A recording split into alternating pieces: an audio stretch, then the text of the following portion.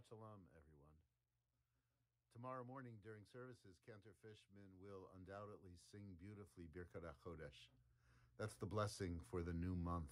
And in that blessing, she will plea with God that He give us a good month, that it's a month of health, a month of well being, a month that's free of any anxiety, shame, or reproach, a month of life it's a really beautiful blessing and it speaks to our dependence on forces that are greater than ourselves.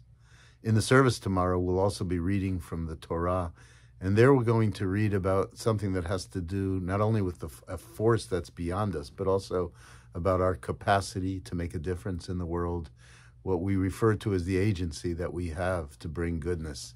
We're standing before the entry into the land of Israel in the context of the Torah reading. And God says, See, Re'eh, see what you've got. Well, if you're good to the land, and if you're good to each other, and if you are faithful to me, then you'll experience blessing. And if not, then bad things will happen, and ultimately you'll experience exile and, and alienation from God. The new month begins tomorrow night, and the new month is the month of Elul. It's pointed out that Elul is an acronym for Ani Ledodi Vidodi Li.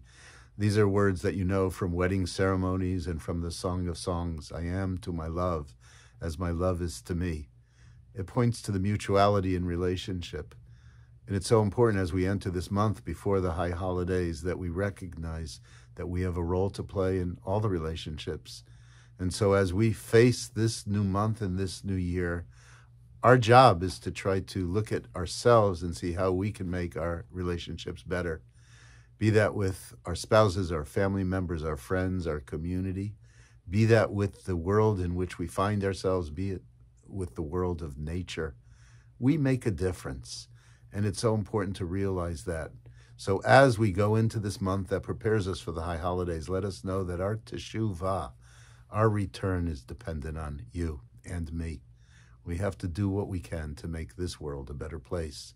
Our tradition has always emphasized that fact that we have agency to change the world. Shabbat Shalom.